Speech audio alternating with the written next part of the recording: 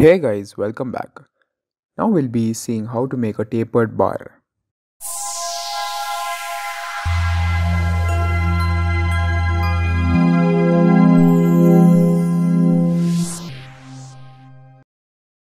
The question is regarding a tapered bar. It has a force of 1000 Newton acting on the right end and the left end is hinged. The area of the cross section of the bar on the left end is 1000 mm square and on the right end is 500 mm square.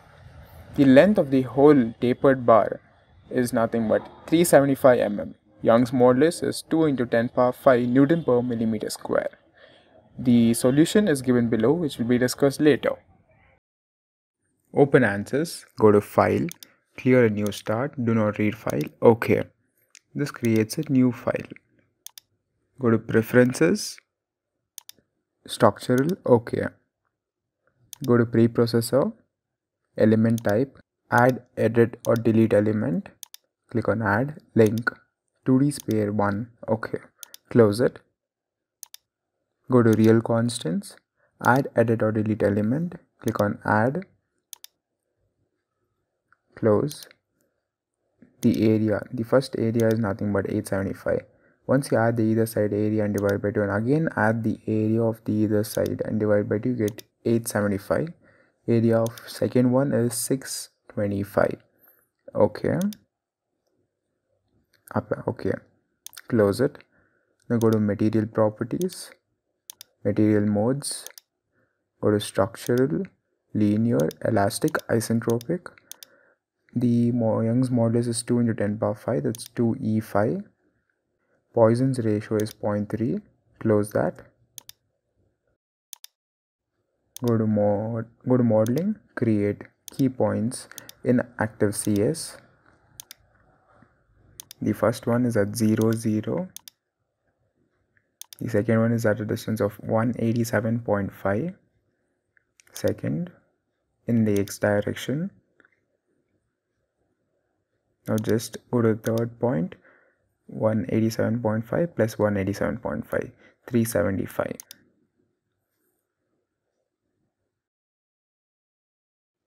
click ok. Now go to lines lines straight line.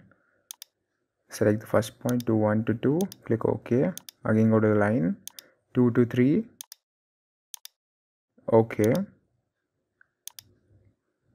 Go to mesh go to mesh attribute pick lines pick the first one click ok. Real constant set number let it be 1 go to pick lines again click on ok.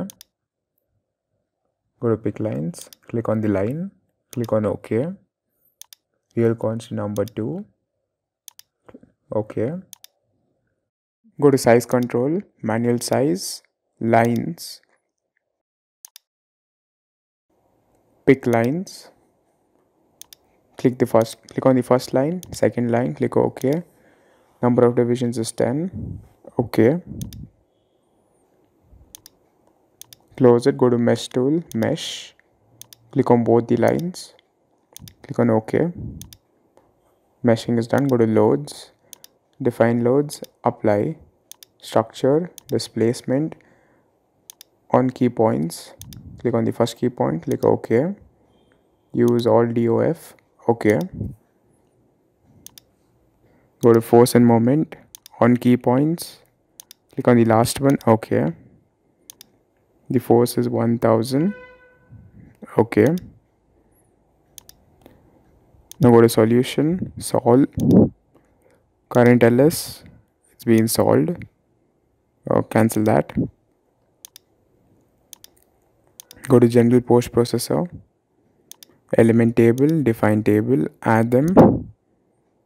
Go down go to by sequence number ls ls1 okay close it.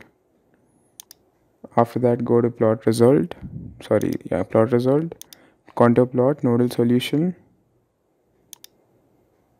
Go to dof solution x component.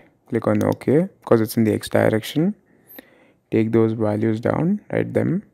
That's nothing but the deformation value. It's almost similar. Got element table.